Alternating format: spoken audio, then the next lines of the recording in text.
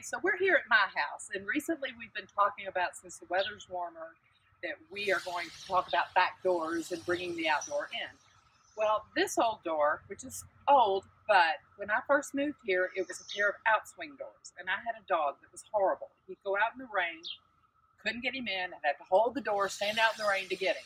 So I switched it to a center hinge patio door. So as you can see, hinges in the center. Slide the screen to close, but what I really like is this door swings all the way back over the inactive door and frees up the room for furniture or however you want to use the room.